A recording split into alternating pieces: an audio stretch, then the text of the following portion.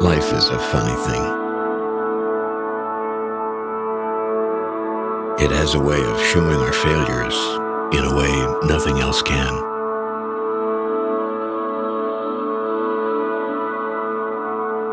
The human heart has a desire to do us right,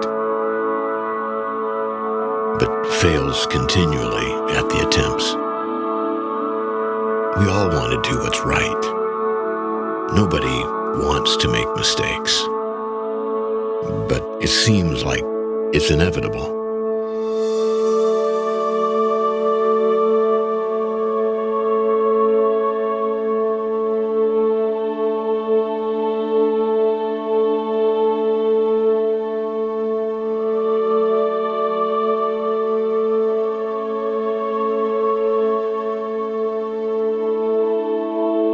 We all fall short.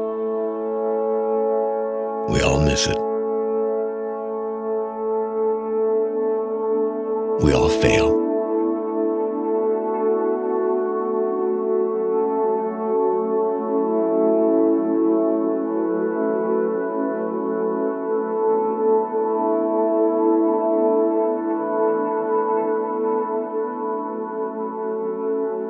We cover our failures with a frail hope that no one will see. Running away from the things we've done. Hiding from the one who we fear to disappoint.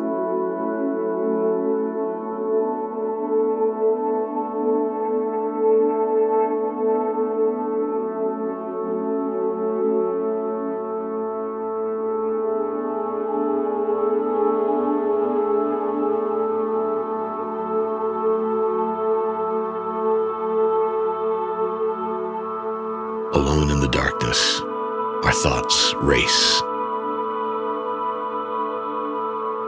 We know he is angry with us. We can't face him. We failed him.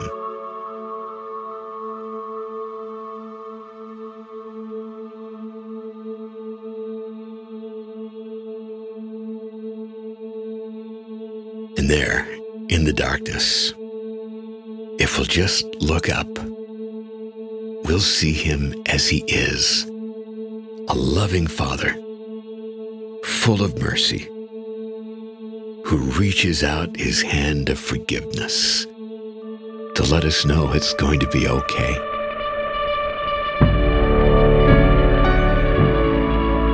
It's in the greatest times of darkness that his light can shine the brightest. He isn't intimidated by our failures. He isn't angry with our mistakes.